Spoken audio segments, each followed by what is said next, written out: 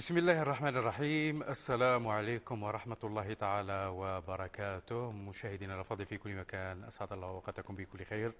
ومرحبا بكم معنا إلى برنامجكم ضحى لقناة القرآن الكريم للتلفزيون الجزائري. رحلة نبدأها من هذه اللحظات آه، ومجموعة من الفقرات والمحطات المتنوعة لكم أنتم. مشاهدينا الأفاضل في كل مكان إذا ابقوا معنا لاكتشاف كل ما حضره فريق العمل لهذا اليوم لبرنامج الضحى وصباح الخير لكل مشاهدي التلفزيون الجزائري قناة القناة قناة القرآن الكريم. إذا في مستهل برنامجنا إليكم منا هذا الابتهال ثم نلتقي. هذا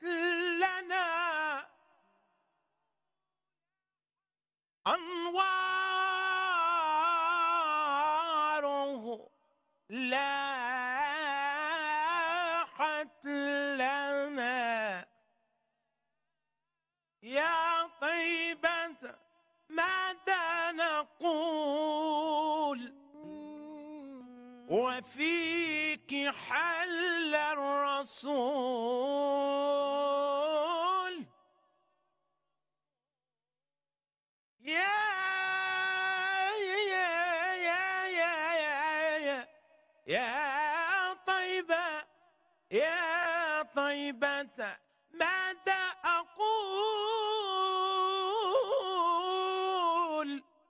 وفيك حل الرسول. يا روضة الهادي الشفيع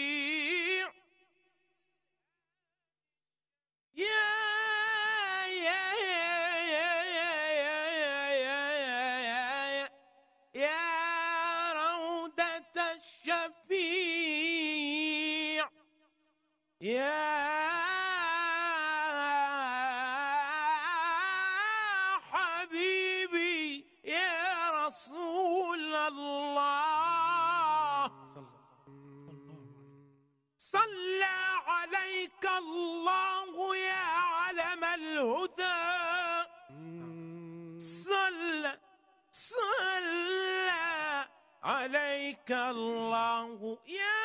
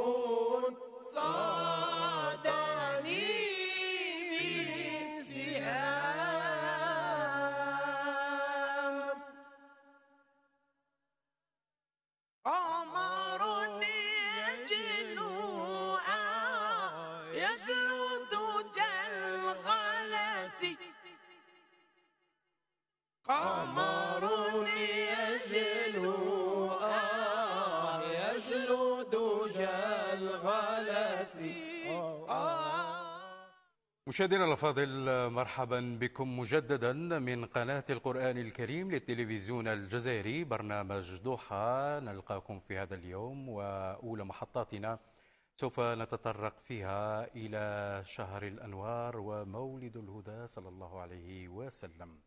اذا نلتقيكم في هذه الفقرة بعد هذا الفاصل.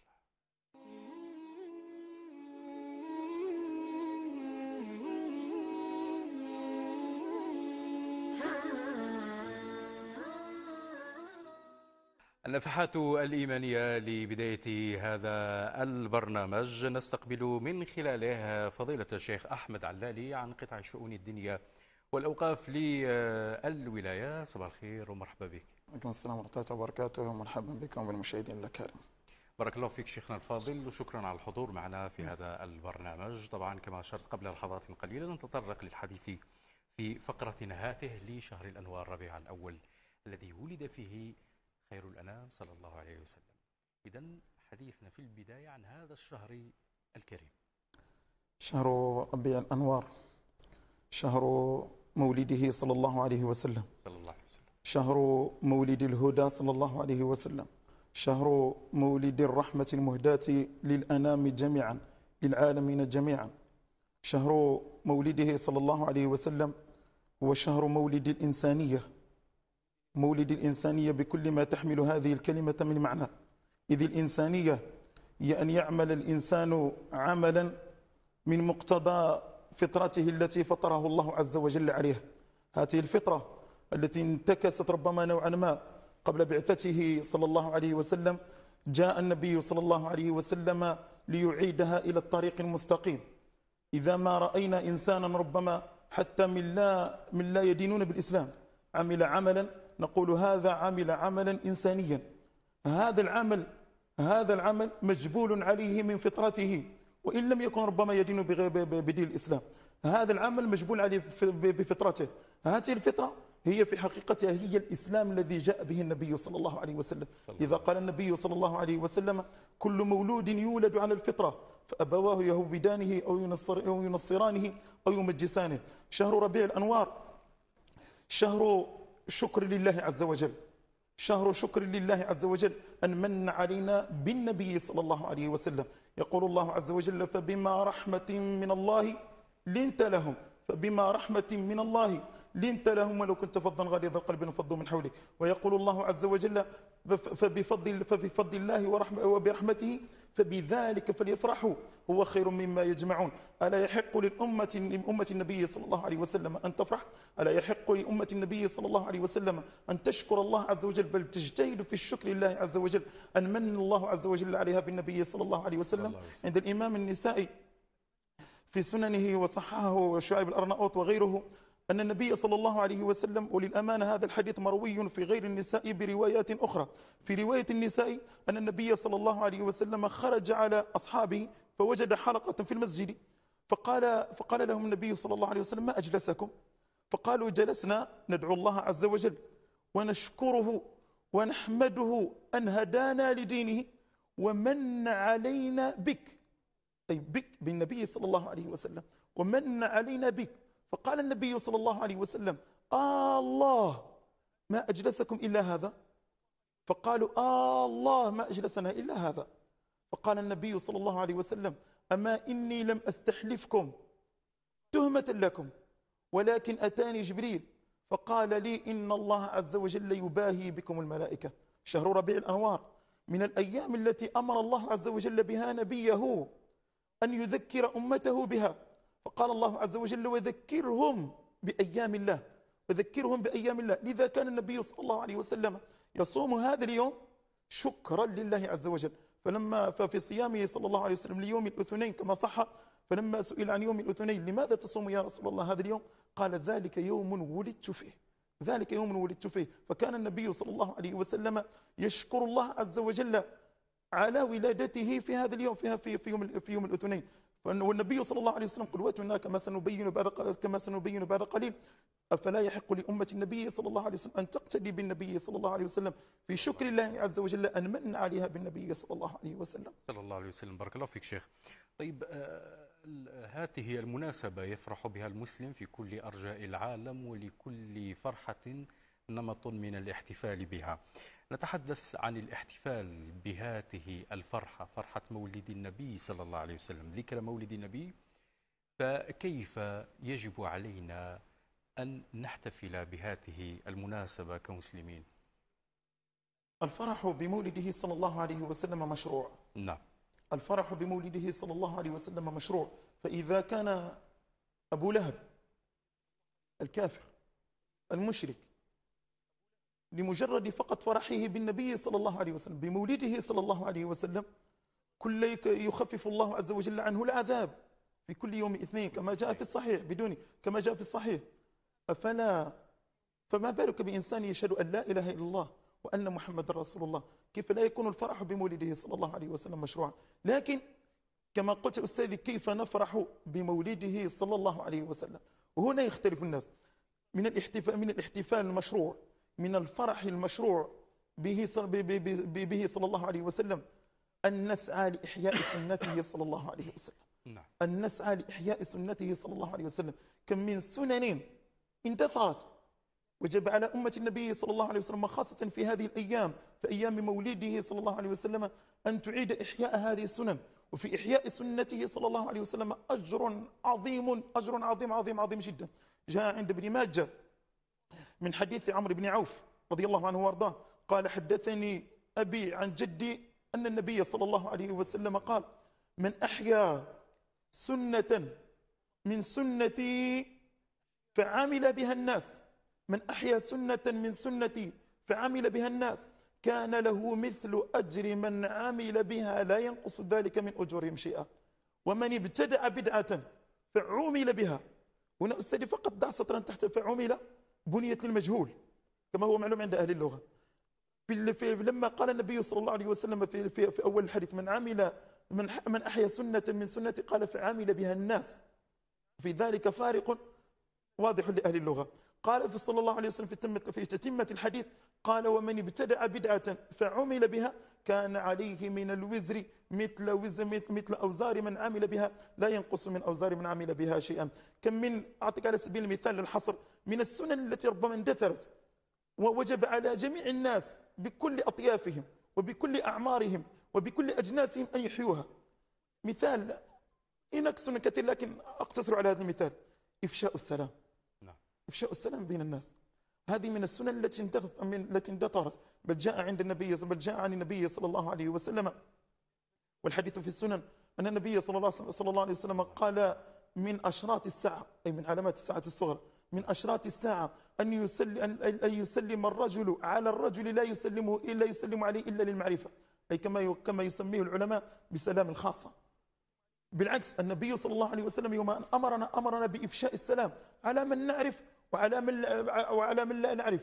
لما في ذلك من فائدة يقول النبي صلى الله عليه وسلم لا تدخلوا الجنة. الحديث في الصحيحين متفق عليه قال لا تؤمنوا حتى لا, لا تدخلوا الجنة حتى تؤمنوا ولا تؤمنوا حتى تحابوا أولا أدلكم على شيء إذا فعلتموه تحاببتم ولا أدلكم على شيء إذا فعلتموه تحاببتم فمن أعظم ما نحتفل به بمولده صلى الله عليه وسلم أن نعيد إحياء سيرته سنته صلى الله عليه وسلم. طيب. كيف ينبغي للأولياء اليوم وللقائمين على التربية في مختلف المنابر والمواقع مثل المدارس والكتاتيب وما إلى ذلك أن نزرع هذا ال- الفعل في أبنائنا وفي النشأ بارك الله فيك أخي إخوة أخي أستاذي. من أعظم خاصة للمربين نعم. من أعظم ما يمكن أن يغرسوه في الأطفال في هذا النشأ أن يصلحوا أنفسهم. هم بمعنى آخر. الإصلاح يبدأ من الذات. بارك الله فيك. نعم. الذي أردت أن أصل إليه هو القدوة. أيوة. إذا قلت لي كيف نحتفل بسنة بمولده صلى الله عليه وسلم أقول لك بالاقتداء بالنبي صلى الله عليه وسلم. صلى الله عليه يقول النبي صلى الله يقول الله عز وجل قل إن كنتم تحبون الله فاتبعوني. قل إن كنتم تحبون الله فاتبعوني يحببكم الله ويغفر لكم ذنوبكم. يقول يقول الحسن البصري رحمه الله قال ادعى قوم محبة النبي صلى الله عليه وسلم أو محبة الله عز وجل ورسوله فامتحنهم الله عز وجل بهذه الآية. ومن أعظم أساليب التربية من أعظم أساليب التربية للنشء للأطفال للأولياء في بيوتهم للم- للمعلمين للمدرسين عامة في كل الأطوار في الابتدائي في المتوسط في الثانوي حتى إلى الجامعة بل أقبل أكثر من ذلك. أن يربوا هذا النشء بالقدوة. نعم. أن يربوا هذا النشء بالقدوة. علماء النفس علماء النفس الآن علماء التربية جميعا يقولون أن أعظم طريقة للتربية هي التربية بالقدوة. لذا نبهنا الله عز وجل على هذا الأمر في كتابه بالنسبة للنبي صلى الله عليه وسلم قال لقد كان لكم في رسول الله إسوة حسنة. قد كان لكم في رسول الله إسوة حسنة لمن كان يرجو الله واليوم الآخر. وحين تقرأ القرآن تجده مليئا مليئا مليئا جدا بالأمر بالاقتداء. قال الله عز وجل أولئك الذين هدى, الله فبهداهم اقتدع أولئك الذين هدى الله فبهداهم اقتدع فالإصلاح يبدأ بال- بالإنسان أن أن يص- أن يصلح الإنسان نفسه. ثم يصلح هذا النشء فال- فالإبن عينه معقودة بالأب. عينه معقودة بأمه. عينه معقودة بأستاذه. الحسن عنده ما استحسنت القبيح عنده ما استقبحت الحسن عنده ما استحسنته القبيح عنده ما- استقبحته سيسير على طريقك كن أنت صالحا سيسير هذا النشء على طريقك. طيب شيخنا الفاضل لنلخص كل ما قلناه في نقاط موجزة نتطرق من خلالها إلى السيرة النبوية العطرة القدوة ثم الترسيخ في نقاط موجزة. في نقاط موجزة من أعظم ما نحتفل به. نعم. هو التذكير بسيرته صلى الله عليه وسلم. صلى الله عليه الحمد لله كثير الآن من المساجد. آه، هناك حلقات ربما لقراءة سيرته صلى الله عليه وسلم. هذا من أعظم من أعظم الأشياء. لماذا؟ لأن قراءة سيرته صلى الله عليه وسلم تزيد في محبته. محبة النبي صلى الله عليه وسلم. تزيد في الغيرة لله ولرسوله. يقول ابن القيم رحمه الله كلمة جميلة جدا. قال الغيرة الغيرة لله ولرس- ولرسوله تكون على قدر محبة العبد لله ولرسوله. فالقلب إذا خلا من الغيرة. لله ولرسوله فهو من المحبة أخلى فلا يصح لمدعي محبة الله عز وجل ألا يغار إذا انتهكت محارم الله عز وجل وضيعت حقوق النبي صلى الله عليه وسلم. كذلك سيرته صلى الله عليه وسلم تدعونا لإقامة هذه هنا نقطة جميلة. أعطيني دقيقة أستاذي. أن نظهر أن نقيم إنسانية النبي صلى الله عليه وسلم. هذا فيها فائدة حتى لغير المسلمين. النبي صلى الله عليه وسلم طبق هذه الإنسانية في على أرض الواقع. النبي صلى الله عليه وسلم طبق هذه الإنسانية في أهله في في في, في قومه بل حتى مع غير المسلمين. مع غير المسلمين طبق النبي صلى الله عليه وسلم. جاء في الصحيح عن النبي صلى الله عليه وسلم عن عن سهل بن سهل سهل بن حنيف وقيس بن سعد. مرت بهم جنازة. مرت بهم جنازة. كانوا بالقاتيس مرت بهم جنازة. فقام لها. فقيل لهما إنهما من أهل الأرض أي من أهل الذمة. فقال اين النبي صلى الله عليه اين النبي صلى الله عليه وسلم. مرت عليه جنازة فقام لها. فقالوا يا رسول الله إنها جنازة يهودي. قال النبي صلى الله عليه وسلم هنا نضع سطرا قال أوليس نفسا؟ أوليست نفسا؟ النبي صلى الله عليه وسلم الإنسان. صلى الله عليه وسلم. بارك الله فيك شيخنا. بارك الله فيك الشيخ أحمد علالي عن قطاع الشؤون الدينية والأوقاف وكل عام وأنتم بخير بهذه المناسبة. آمين يا رب. نسأل الله عز وجل أن يوفقنا إلى ما يحبه ويرضاه وأن يجعلنا في من من الدعاة إلى طريق الحق. السلام عليكم ورحمة الله تعالى وبركاته. وعليكم السلام ورحمة الله تعالى وبركاته. مشاهدي التلفزيون الجزائري قناة القرآن الكريم برنامج ضحى متواصل وإياكم نتوقف مع هذا هذا الأنشودة الدينية ثم نلتقيكم بحول الله. إله إلا الله لا إله إلا الله.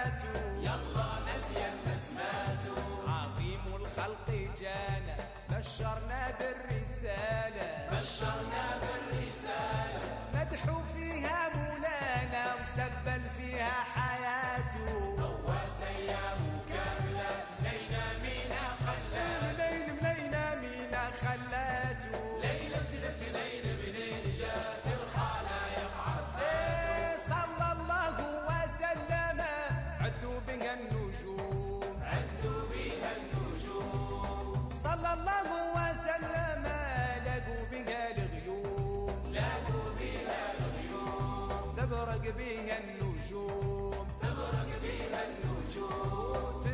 بها الغيوم. تنقط بها الغيوم. تزول بها الهموم. تزول بها الهموم. تبرق بها النجوم. تبرق بها النجوم. تنقط بها الغيوم.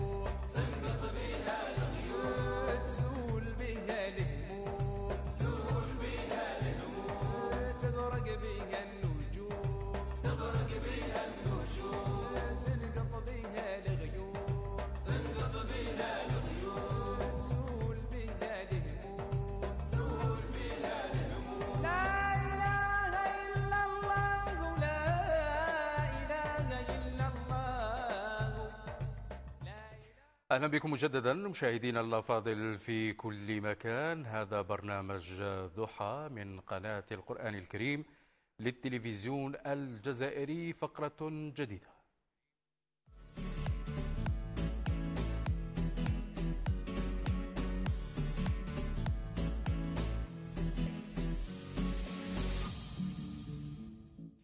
ضيفنا في هذا العدد مشاهدينا الأفاضل فضيلة الشيخ مبارك بن قاضي ممثل عن مصلحة الثقافة الإسلامية لقطاع الشؤون الدينية والأوقاف للحديث عن مجمل النشاطات الثقافية المنظمة بمناسبة ذكرى مولد المولد النبوي الشريف. فضيلة الشيخ السلام عليكم. وعليكم السلام ورحمة الله تعالى وبركاته. مرحبا بك معنا في برنامج ضحى. بك الله يجزيك بارك الله فيك شكرا. بداية نتكلموا على مصلحة الثقافة الإسلامية واللي تتوفر عليها كل مديرية من مديريات الشؤون الدينية والأوقاف للوطن. بارك الله فيك. بسم الله الرحمن الرحيم والصلاة والسلام على أشرف المرسلين وعلى آله وصحبه أجمعين. وبعد السلام عليكم ورحمة الله تعالى وبركاته. مصلحة الثقافة آه، الإسلامية بكل مديرية الشؤون الدينية والأوقاف مهمتها وهي إقامة النشاطات والندوات والتكوين المستمر والإشراف على آه، الإعداد بعض آه، الخطب والدروس بالنسبة في المناسبات الوطنية وكذلك إقامة المسابقات الإشراف على المسابقات القرآنية وغيرها من النشاطات المتعددة. إذن مهمتها هي؟ يعني الاهتمام بالنشاط آه، التثقيفي والنشاط ال- ال- التوعوي بالنسبة للمجتمع. طيب بمناسبة ذكرى المولد النبوي الشريف ككل سنة تنظم آه، عدة تظاهرات ومسابقات ومنافسات. فما جديد هذا العام؟ آه، جديد هذا العام بالنسبة لمديرية الشؤون الدينية والأوقاف لولاية بشار. نعم. وهي أنها قد أعدت برنامج ثري وفعال آه، من خلال آه، هذه المناسبة الكريمة وهي مناسبة الاحتفال والابتهاج بمولد النبي صلى الله عليه وسلم. أولا آه، إقامة المدائح والمتون في وقراءتها في المساجد عبر كامل مساجد يعني ال- ال- الولاية وذلك من خلال آه، تفعيلها آه، ومن خلال كذلك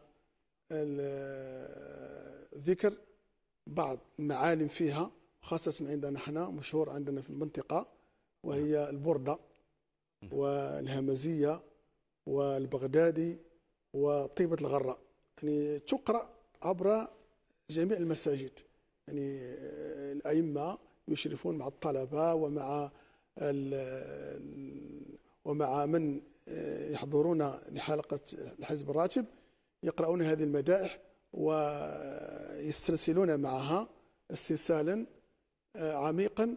وبعد ذلك يقوم الإمام بشرح بيت أو بيتين من هذه القصائد لتنوير الناس وتفهيمهم على هذه القصائد لأنها جاءت في مدح النبي صلى الله عليه وسلم. وسلم. هذه القصائد كلها تصب في مدح النبي صلى الله عليه وسلم وخاصة البردة التي اشتهرت عبر أسقاع العالم.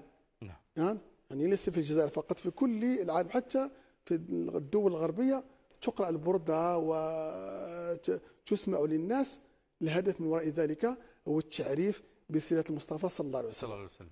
طيب هذا القصائد تقرأ ومعروف على هذه المنطقة المنطقة الجنوب الغربي خاصة ولايتي بشار وأضرار.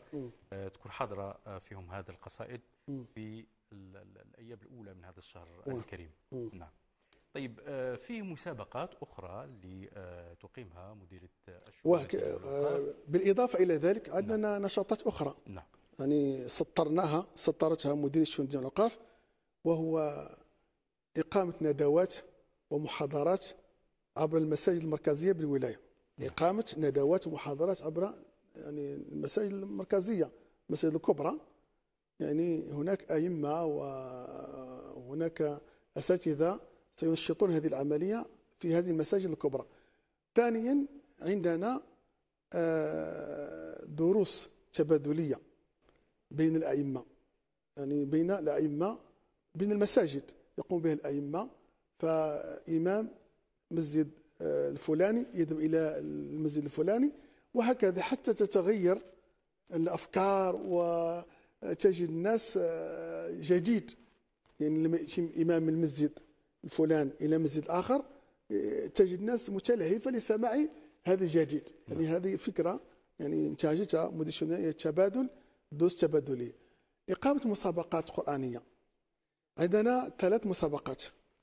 كاين مسابقة وطنية ومسابقة ولائية ومسابقة محلية.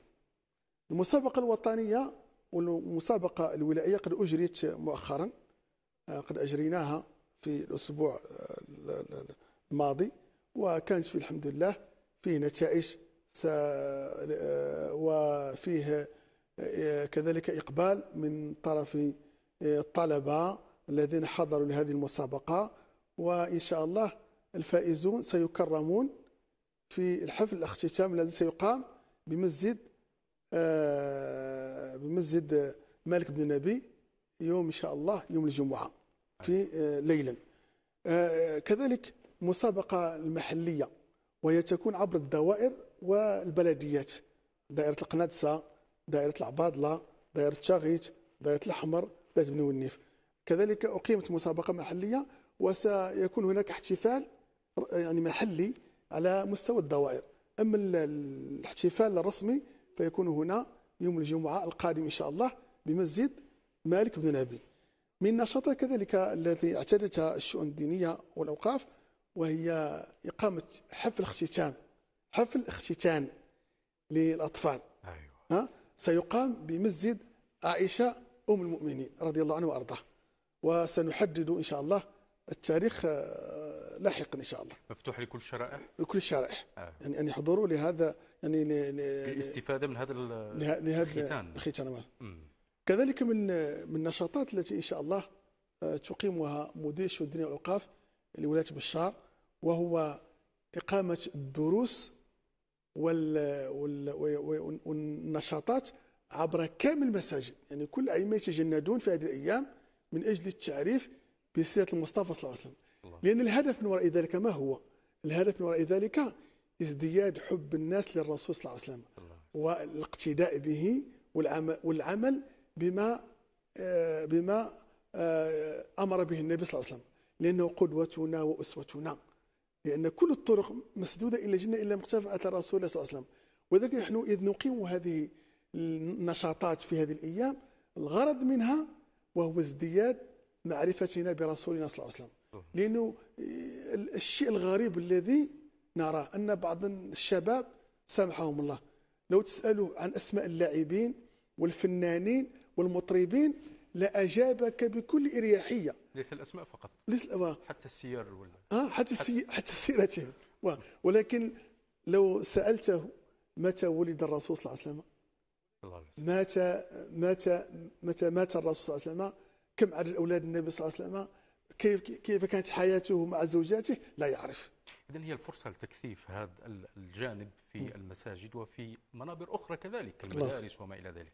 نبقى في آه، مهام. مصلحة الثقافة الإسلامية. هي اسم على مسمى. نشر الثقافة الإسلامية يكون من خلال هذه المسابقات. آه، مسابقات الحفظ التي تتم على مستوى الدوائر. هل هي في آه، صلة بالتصفيات ال- ال- ال- ال- المركزية التي تتم على مستوى ال- الولاية أم هي بشكل مفصول عن هذه المسابقة الولائية بالنسبة عندنا مسابقة ولائية يشارك فيها كل كل الدوائر. تجتمع هنا ب آه، ب- بالمسجد المركزي وهو مسجد عائشة المؤمنين. نعم. تقام فيه المسابقات القرآنية. نعم. هذه مسابقة أولية. المسابقة المحلية هي آه، يقوم بها معتمد الدائرة فقط مع طلب مع الطلبة ومع ال- الأئمة. هي آه، ليس لها كما نقول فقط تأتي النتائج. يعني نحن لا التصفية تقوم بها الدائرة فقط. أما التصفية التي يعني تدار هي تصفية على مستوى الولاية. كل كل الشرائح المشاركة نعم. على مستوى الولاية هي هي التي تدخل فيها ال- ال- ال- ال- ال- الإدارة. أما بالنسبة للدائرة المعتمد هو الذي يقوم بهذا العمل. تحدثنا شيخنا الفاضل عن آه، إقامة آه، أو آه، قراءة المدائح كالهمزية والبردة وما إلى. ذلك إضافة إلى اللطيف. نموذجنا اليوم من مدينة القناتسة اللي فيها مجموعة للمديح الصوفي اللي راح نشوفوها في هذه الصور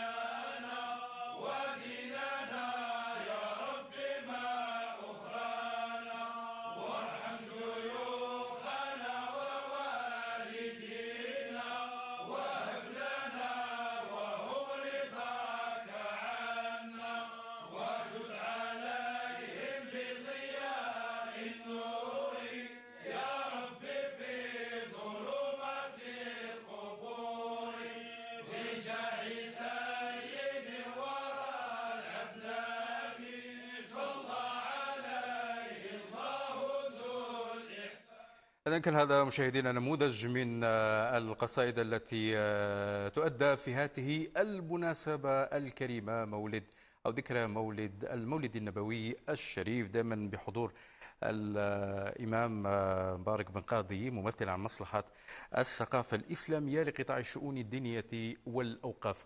إذا هذه المناسبة هي فقط تكثف فيها النشاطات والمنافسات وما إلى ذلك لكن نشاط المصلحة متواصل على مدار السنة ونتوقف عند التكوين المتواصل أو التكوين المستمر.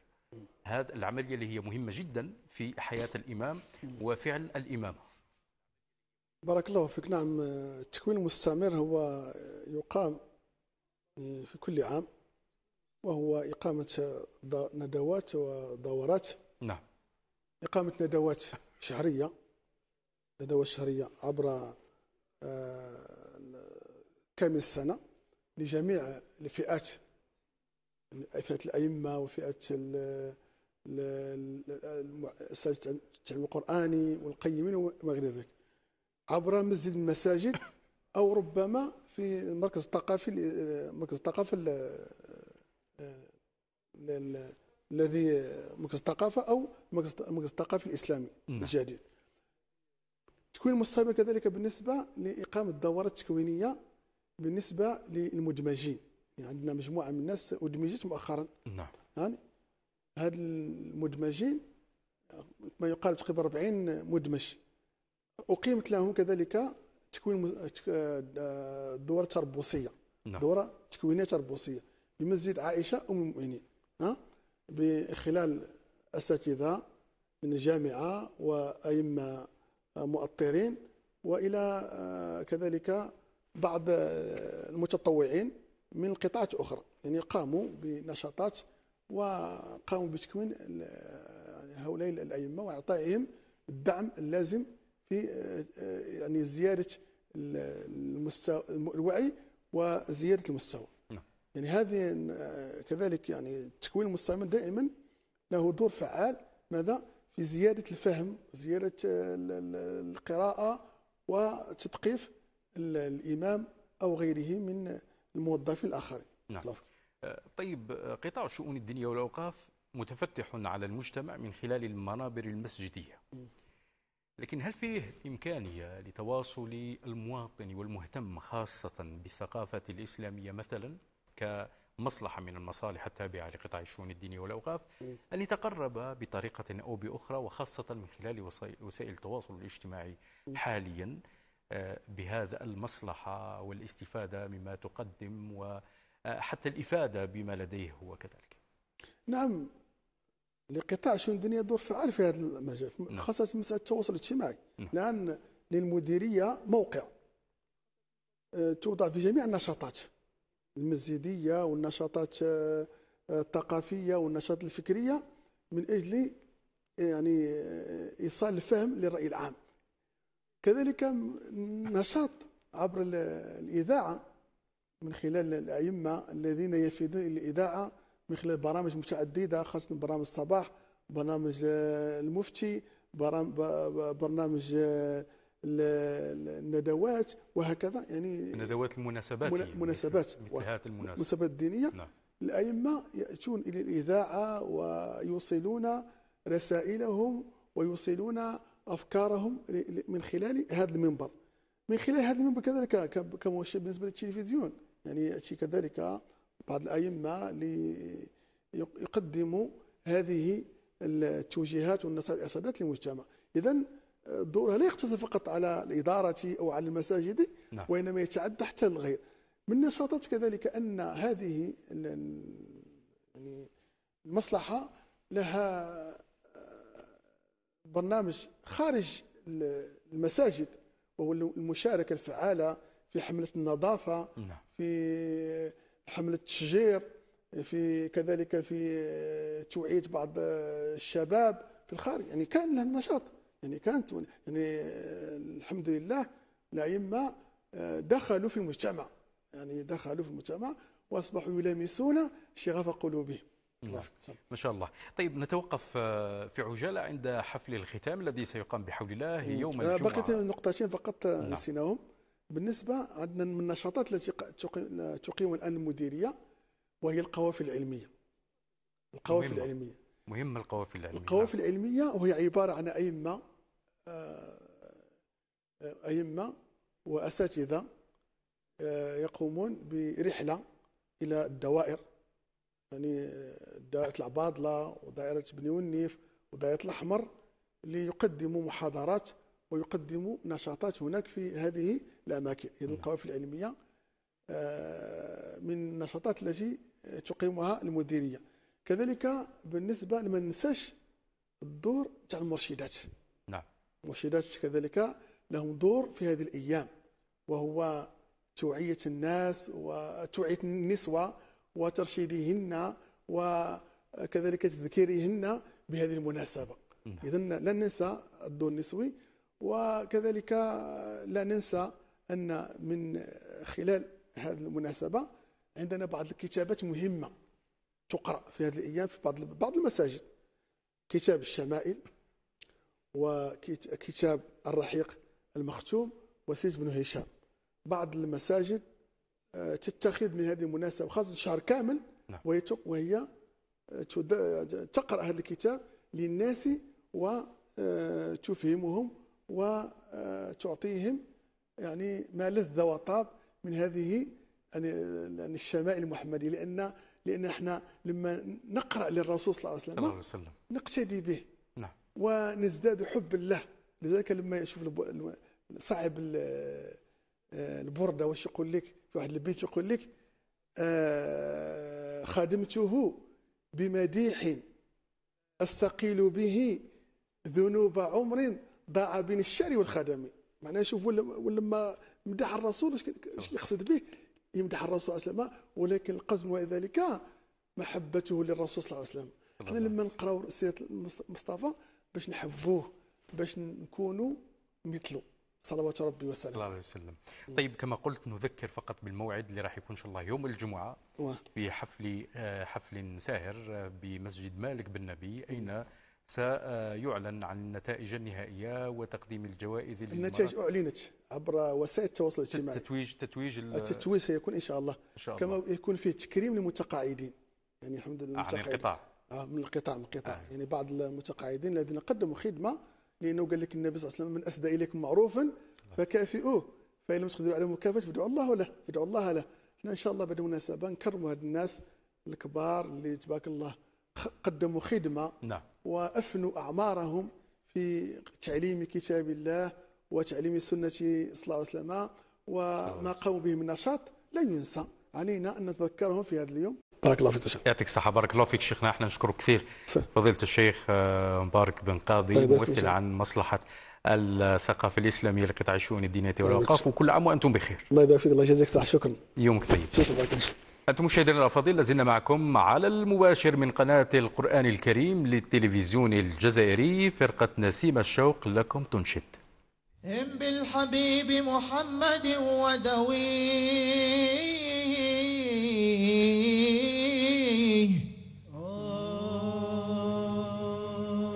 إن الهيام في حب طه يرضيه. إن مات قلبك فالهوى يحييه. إن مات قلبك فالهوى جسد تمكن حب أحمد فيه. والله إن الأرض لا تبليه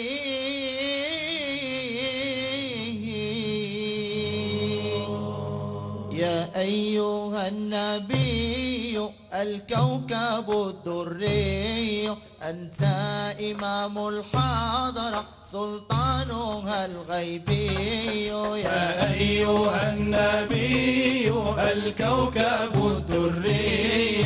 أنت إمام الحاضرة سلطانها المكي يا أيها النبي الكوكب الدري.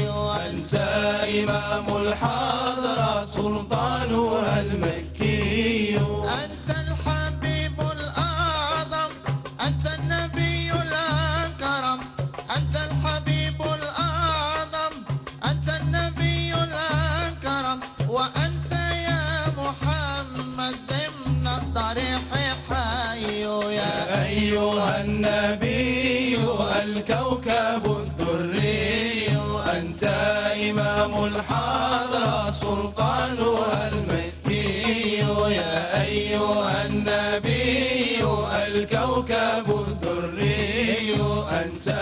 imamu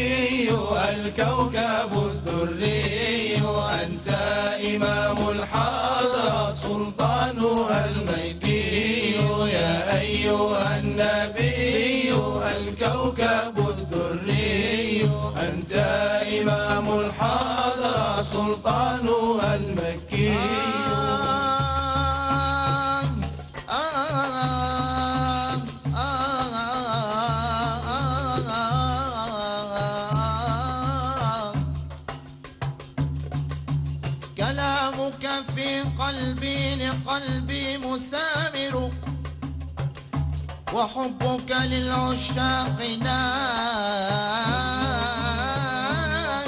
وآمر.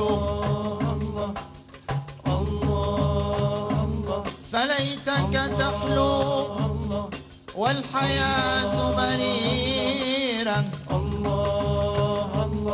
فليتك تخلو وليتك ترضى. والأنام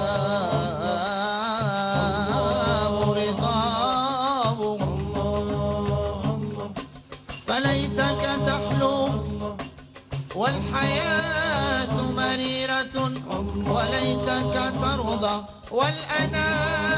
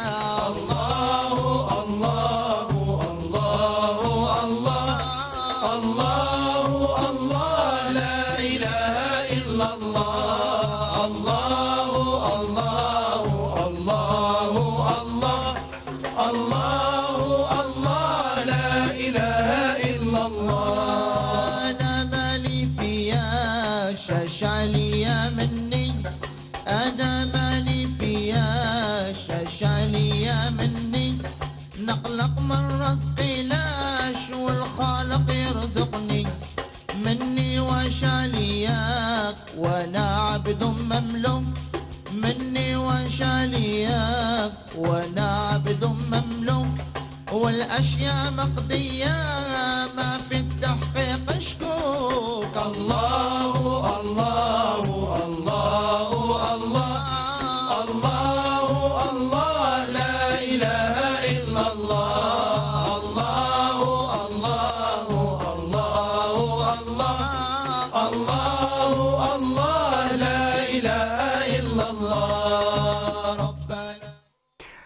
عودة لكم مشاهدينا الأفاضل في كل مكان مرحبا بكم. أنتم على المباشر برنامج ضحى لقناة القرآن الكريم للتلفزيون الجزائري. حديثنا بعد لحظات قليلة سوف يكون عن الاستعمال الحسن للأنترنت. هذه الوسيلة التي تعد سلاح ذو حدين. البرنامج سوف يكون أو الفقرة سوف تتحدث عن برنامج بالتعاون بين مديرية التربية واتصالات الجزائر. بعد الفاصل.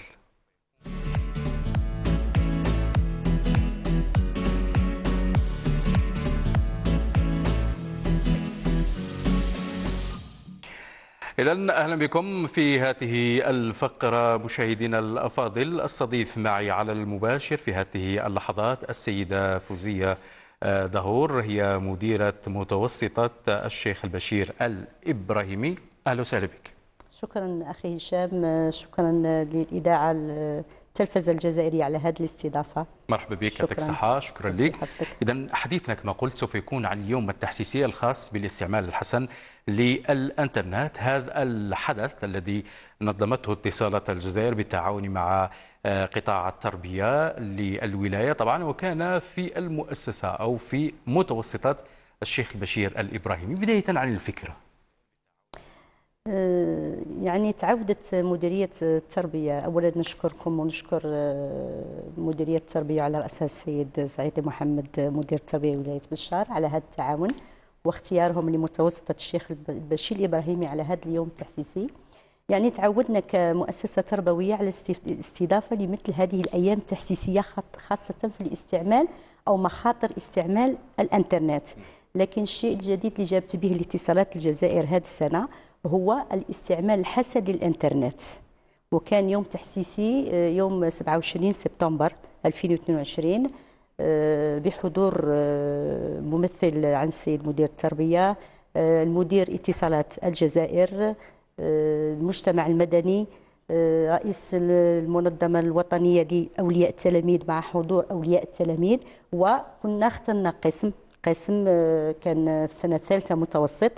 وما يخفاكمش أن هذه الفئة العمرية هي الفئة اللي بدأ يتحول فيها التلميذ يعني إحنا يدخلوا عندنا من الطفولة سن 12 11 سنة ومن بعد يخرجوا من عندنا مراهقين 16 15 16 سنة وبالتالي الفئة المتوسطة هي فئة تاع الثالثة متوسط كنا اخترنا قسم قسم اللي كان حضر هذا اليوم التحسيسي اللي كان يعني ناجح أيوة. الحمد لله طيب آه، من هم شركاء العملية؟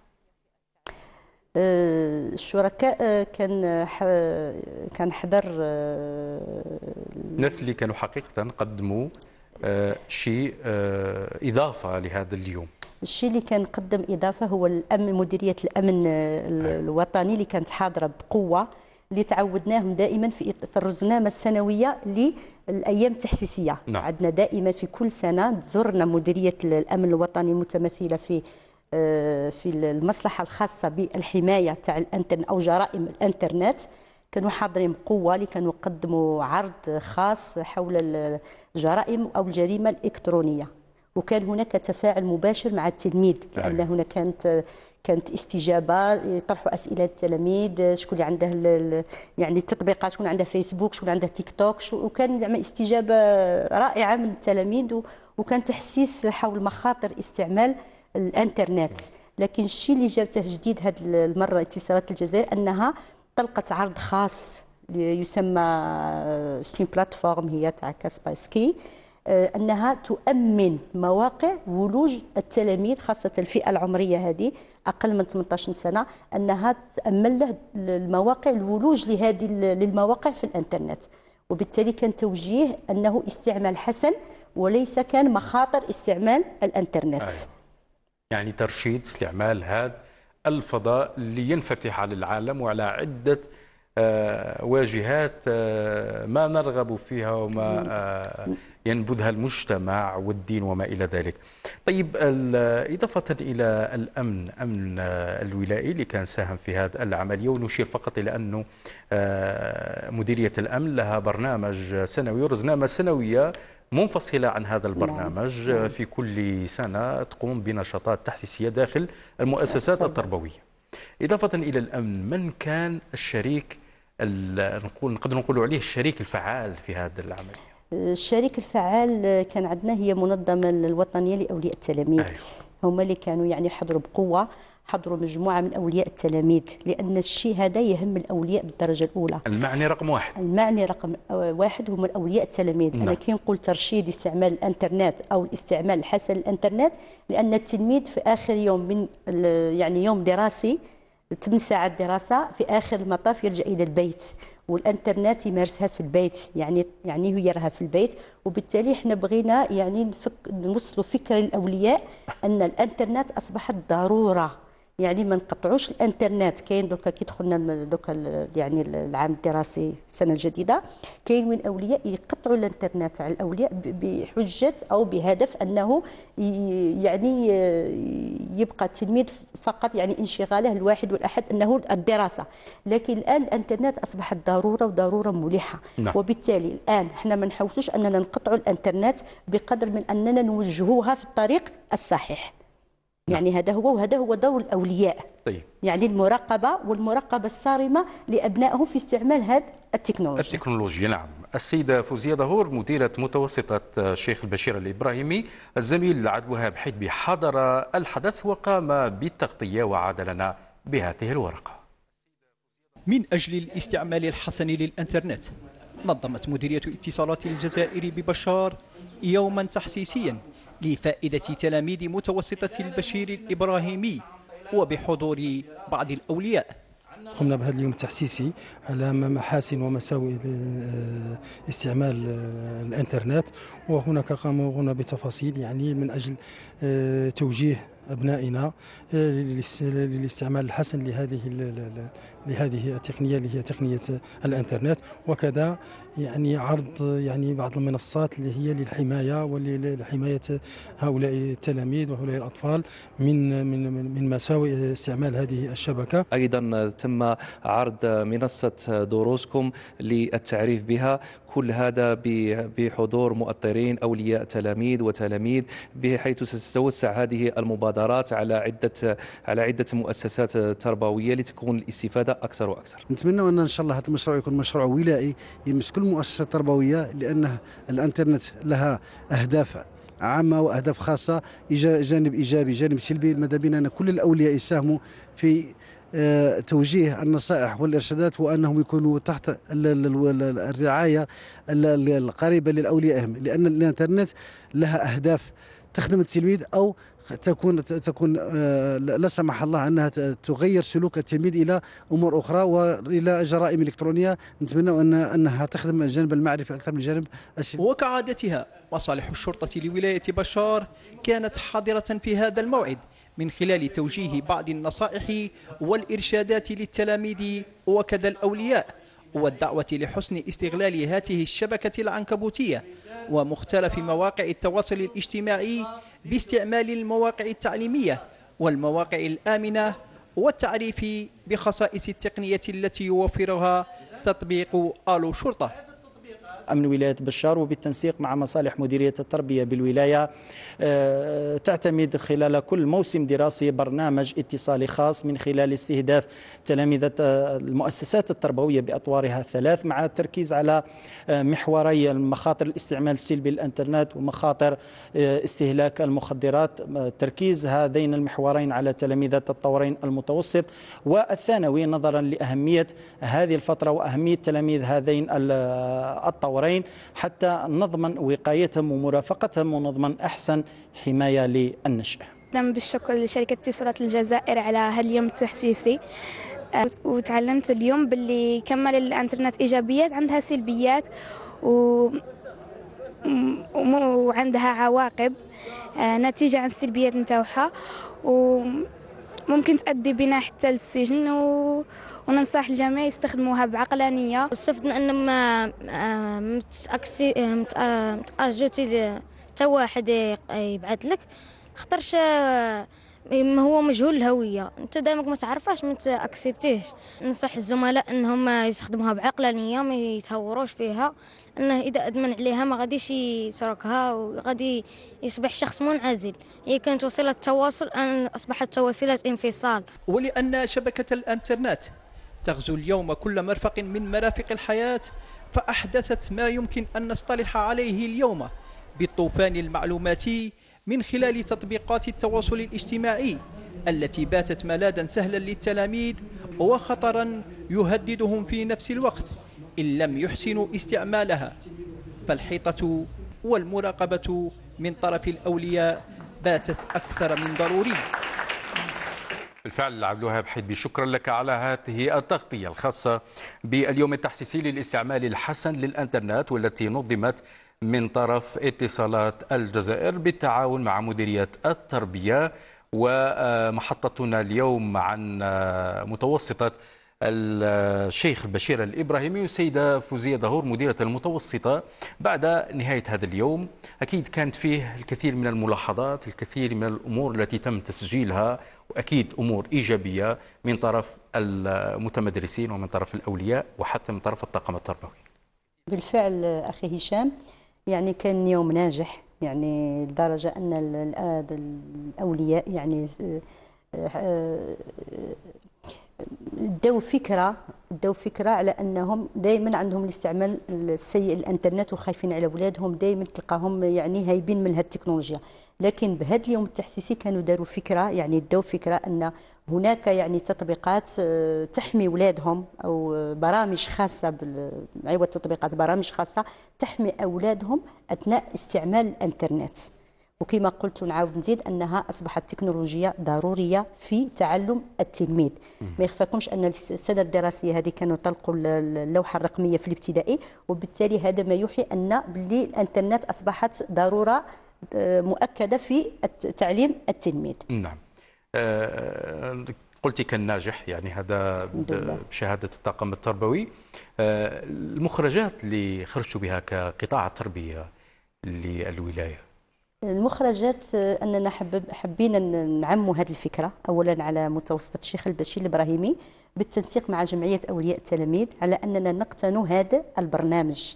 نقتنوا هذا البرنامج ويعني ونحثوا أولياء الأمور باش يقتنوه. البرنامج الأمني الإلكتروني. الأمني الامني الإلكتروني اللي كانت طلقاته الاتصالات الجزائر في هذا اليوم ال- ال- التحسيسي اللي هو الاستعمال الحسن. حنا كنقولوا الاستعمال الحسن وبالتالي هناك برنامج جات به جديد لاتصالات الجزائر هو كاسبايسكي اللي هو عرض آه، يعني آه، بسعر آه، كما نقولوا رخيص يعني بزهيد يعني مقبول. يمكن أن يقتنيه ولي الأمر لكن ولي الأمر كاين أولياء الأمور اللي يقتنوه كاين اللي في مقدورهم أنهم يقتنوه. لكن إحنا ح- حبينا أننا نوسعوا هذه الفكرة وأننا نعموها على جميع التلاميذ اللي يستعملوا الإنترنت وخاصة اللي عندهم يعني ال- ال- الاستعمال اليومي لهذه التكنولوجيا. على ذلك ال- ال- ال- التلاميذ اللي استعملوا هذه التكنولوجيا اللي هي المسطحات ال- ال- الرقمية أو الإلكترونية كالتابلت والأندرويد الهاتف الذكي وما إلى ذلك. ما واقع آه، حضور الهواتف الذكية داخل المتوسطة؟ وكيف يتم التعامل مع هذه الظاهرة حتى نكونوا صرحاء ما يخفاكمش أن القانون الداخلي للمؤسسه واللي نعم. اعتمدته وزارة التربية أنه يمنع منعا باتا حضور التلميذ لهاتف نقال يعني ذكي. لكن التعامل اليومي مع أولياء التلاميذ أن أن الأولياء يطلبوا منا أن التلميذ يجيب معه هاتف على أساس أن يكون تواصل بينه وبين أبنه في ساعات الدخول وساعات الخروج. نعم.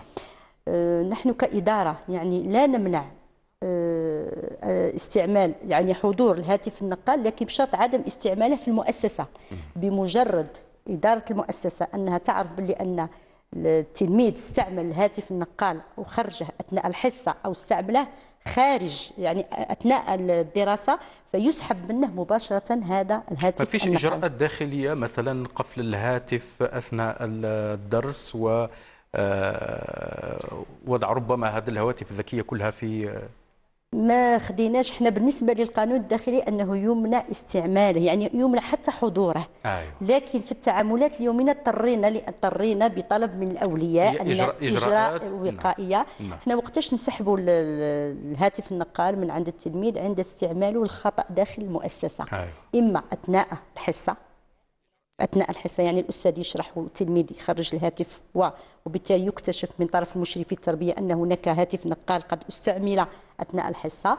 يسحب ولا يؤخذ أو لا يسترجع هذا الهاتف النقال إلا بحضور ولي أمره مع آه، يعني ال- ال- التعهد مع تح- تحرير تعهد بعدم استعماله أو يعني آه، نعم. إذا بعد هذا اليوم التحسيسي فيه رؤى على المدى البعيد آه، والقريب. بالنسبة لنشاطات مماثلة هل فيه رؤية توضحت بعد نجاح هذا اليوم التحسيسي؟ آه، نعم بالفعل نحن نبارك مثل هذه الأيام التحسيسية ونتمنى من اتصالات الجزائر دائما بالتنسيق مع مدير التربية أنها أن هذا اليوم التحسيسي يعني يشمل جميع المؤسسات التربوية على المستوى الوطني. نعم. لأنه فعل أن يوم تحسيسي يعني فعال يعني كان جاب نتيجة معنا يعني إحنا كتجربة أولى مع الأولياء مع التلاميذ.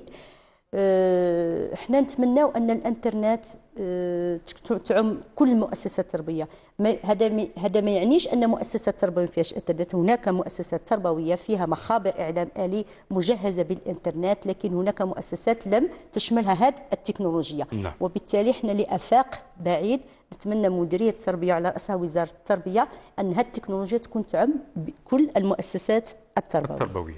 نشكرك كثير الأستاذة فوزية ظهور على الحضور معنا في برنامج دوحة لقناة القرآن الكريم. مع التمني لكم بالتوفيق والنجاح. كلمة خاصة ليوم المعلم. بالتأكيد. شكرا. اذا اليوم آه، المصادف ل 5 أكتوبر غدا إن شاء الله. بحول الله. اذا أقدم تهنئة لكل أساتذة ومعلمي قطاع التربية بهذا اليوم العالمي.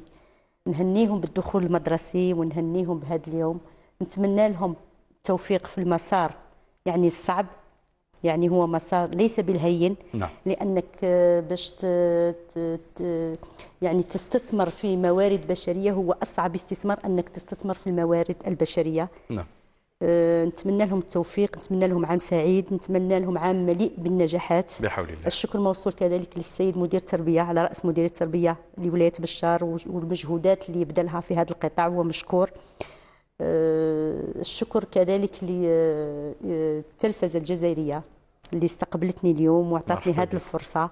يعني أنا كثير فرحانة بهذه الفرصة ونتمنى أنها تتكرر مع مؤسسات أخرى إن شاء الله. إن شاء الله بحول أخرى. الله. يعطيك شكراً. الصحة. شكرا لك. سيدتي الكريمة. مشاهدينا الأفاضل لازلنا معكم على المباشر. نلتقيكم بعد هذا الفاصل الإنشادي.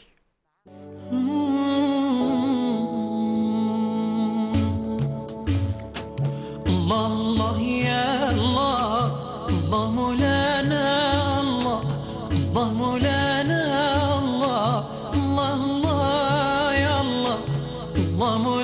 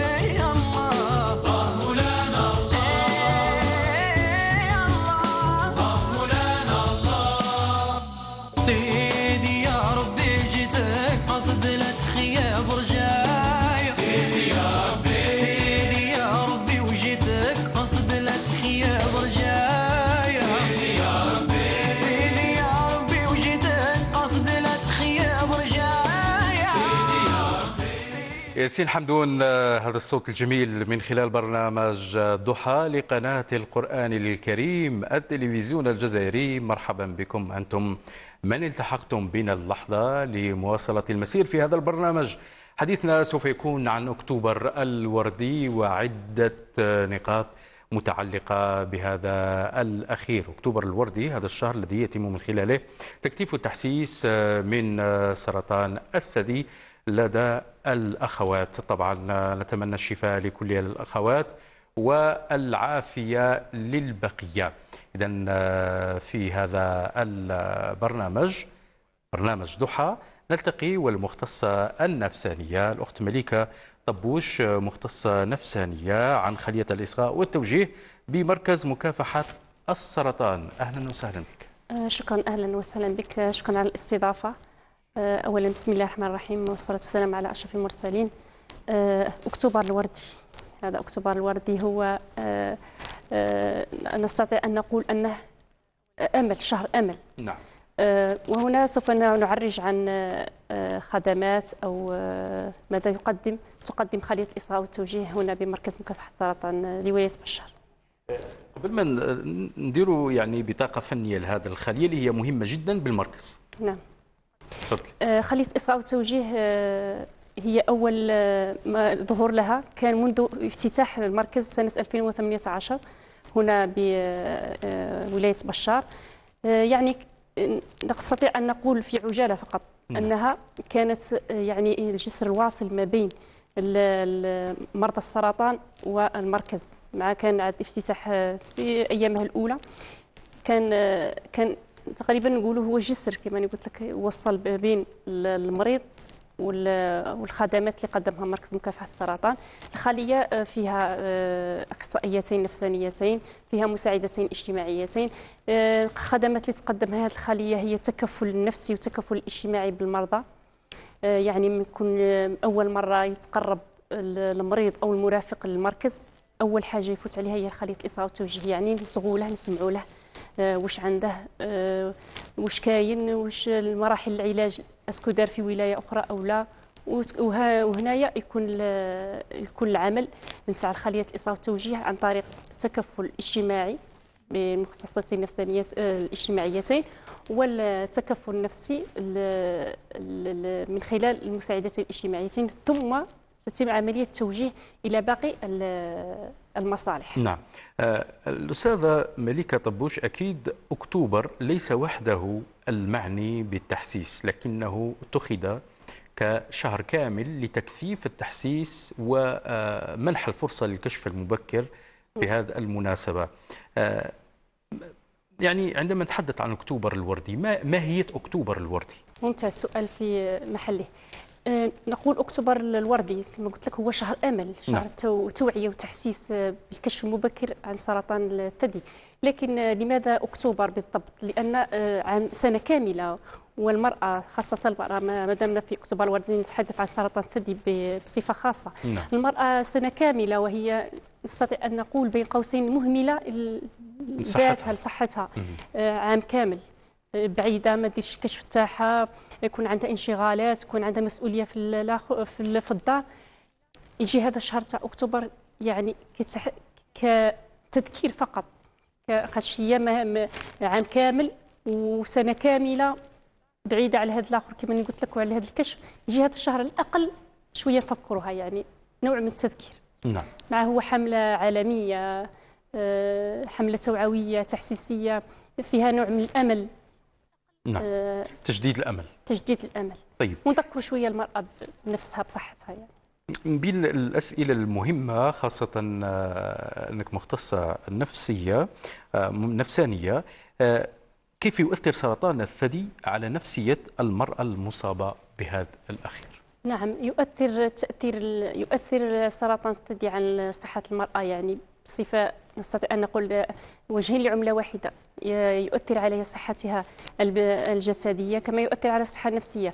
طبعا من أول الصدمة من أول الإخبار الصدمي الصدمة يعني من يخبروها يقولها بلي واش عندك واش عندك؟ تبدأ المرأة في آه، نستطيع أن نقول آه، يكون هناك اختلال في التوازن النفسي لديها. عكسية رحلة عكسية. دوامة ت- ت- توقع فيها. نعم رحلة عكسية ودوامة تكون عندها خلط في المشاعر. اضطرابات نفسية اتزان النفسي اللي كان عندها يروح تدخل في عم- في اضطرابات نفسية مثل الاكتئاب الخوف القلق عدم الغضب التقبل عدم التقبل فترة حداد. فترة حداد الاستسلام. الاستسلام. يا تكون مستسلمة ولا تواجه بطريقة كما نقولوا فيها مبالغة يعني. يأثر تأثير كامل. وين لازم يكون التدخل النفسي سواء من طرف المختص النفسي أو حتى بين قوسين ما يسمى لو سيبور مورال اللي يكون. ماهوش نفسي بحث لكن هو نفسي انساني من طرف المحيطين بها. في هذه الفترة هل هو في فترة عدم التقبل في فترة الحداد أم في فترة الاستسلام؟ فترة التقبل. فترة صعيب. باش الواحد كيكون يدير الكشف ولا التشخيص من بعد يكتشف باللي راه عندها سرطان خاصة سرطان الثدي. هاي أطلع على كيف نقولوا الصورة الجسدية الجس- الصورة الأنثوية للمرأة. المورفولوجيا. واه آه، هنا يكون هنا يكون الدعم. في بدايتها في بداية الرحلة العلاجية يكون الدعم من طرف الأخصائي النفساني أو طرف الدعم الأسري أو حتى المرافقة. كما قلت لك مرافقة تكون اجتماعية تكون نفسية تكون خاطر شي يليق تكون هذه المرافقة باش تكمل الرحلة العلاجية نتاعها. سينو يعني ت- يوقع خلل. يوقع خلل وما هل- تكملش هذا الخلل نتاعها. الخلل يؤثر؟ آه، هل ينتقل يعني من نفسي إلى عضوي؟ هذا الخلل يقدر يكون ياثر عضويا؟ الخلل النفسي هذه عضويا أكيدة خاطش ال- الدعم النفسي عنده يدير تعزيز الاستجابة للشفاء والتسريع من الشفاء. أما يكون كاين اضطراب نفسي وتكون قلت لك في في دوامة وفي خلط مشاعر وفي اضطرابات ما تلحقش توصل وين؟ دير كما نقولوا تحبس هذاك العلاج تاعها ما تلقاش هذاك الدعم من طرف قلت لك الأسرة من طرف الأخصائي النفسي من طرف ويأثر لها على الجانب ال- الجانب الاستشفائي نتاعها والرحلة العلاجية نتاعها ما تكونش عندها تكونش عندها كما نقولوا ال- استجابة استجابة للعلاج سريعة. خاصة خاصة بين قوسين لهم يلقوا شوية ال- الصعوبات لهم يجوا من الولايات. المجاوره. خارج الولاية يعني يكون فيها ضغط كبير بعد للأهل بعد للأهل. آه، طاقة استيعاب المركز راهي ربما أو الانفتاح انفتاح المركز راه وطنيا الآن. وطنيا كان في الأول كان جهوي جنوب غربي واليوم راه كل ولايات الوطن تقريبا هنا مع الغرب الجنوب. كم تخصصات؟ خاطرهم يقول لك بلي راه اونبان من في الولايات. أيام يبدلوا يجوا من الولايات تاعهم يجوا هنا عندنا في وقت اللي حنا قلت لك المركز قلع هذاك الغبن على الجنوب. وعلى ذيك الرحلة هما تعكست دروك الحال. نتمنى إن شاء الله من هذا المنبر مادام هضرنا نتمنى إن شاء الله يشوفوا هذا مهم. هاد المرضى يشوفوا لهم الحل. إن شاء الله بإذن الله. طيب قلنا أهمية الدعم والمرافقه النفسيه واثره في العلاج آه، لا غبار عليه. آه، كيف يجب علينا كمجتمع كجيران كأصدقاء كزملاء بعيدا عن الأسرة لأن الأسرة دورها كذلك لا غبار عليه. كمجتمع كيف يجب علينا أن نحتوي هذا المريض وما يجب علينا فعله تجاه هذا المريض حتى نخفف من وطأة المرض المريضة هنا؟ المجتمع له دور كبير في ماذا؟ في عملية احتواء كما قلت. كاين النساء كانت عاملات مثلا. نعم. دوك كي تكون عام... تكون عاملة وتكون في الرحلة العلاجية تاعها عندها زملاء وعندها زميلات. نعم. justement كي ترجع للعمل مثلا تاعها نعطي مثال فقط.